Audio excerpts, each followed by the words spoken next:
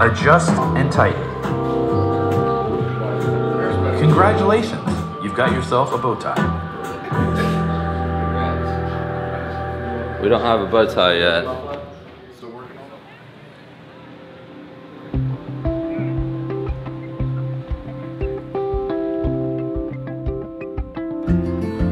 Thank you to everyone who's come here. You know, you sit in a room full of people like this and see how many people came to support you. It it really does mean a lot, and uh, it's, it's pretty special.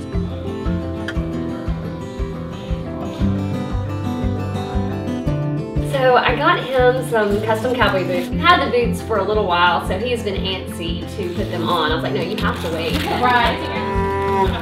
3 12 16, that's today. Oh, yeah. First time I saw Meghann, I was a freshman at Ole Miss. Going to the class that first day, I was real nervous. I mean, I didn't know anybody, I didn't know what was gonna happen. I said, I'm just gonna go walk in, find the hottest girl in that room, sit down by her, see what happens. And by God, almost 12 years later, here we are now, you know what I'm saying?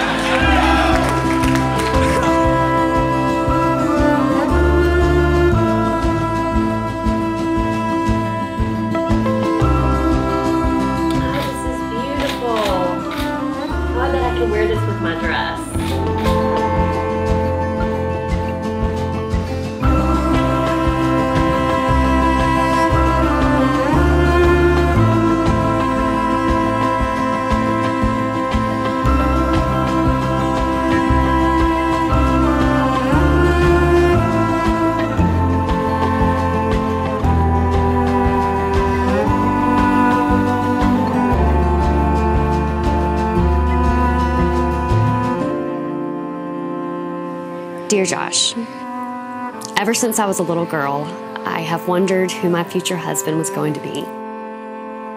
I'm so thankful that our friendship came first and that it was a slow road to where we are today. I hope that I can be the wife you have always dreamed of and the one that your parents have prayed for. Having you by my side is what makes my heart fulfilled. In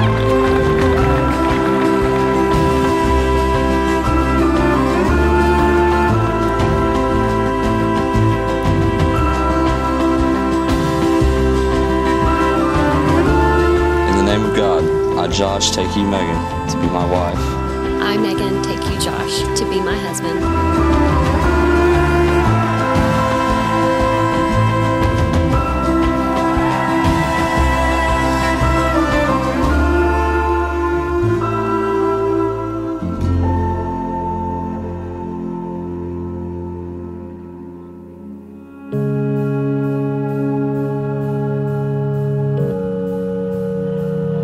You know, we only had Meghann, but Josh is like a son to us now. And I know from the bottom of my heart that myself and your mother, we will always be there for y'all. You know that.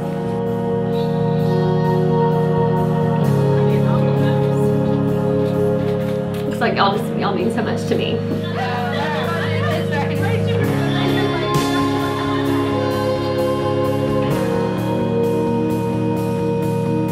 I know choosing Meghann has been the best decision Josh made in his life. I don't know what's going on over there. Welcome to NOLA.